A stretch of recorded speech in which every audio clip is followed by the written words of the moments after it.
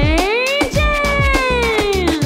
Feliz cumpleaños, James. Yeah. One happy birthday dot com.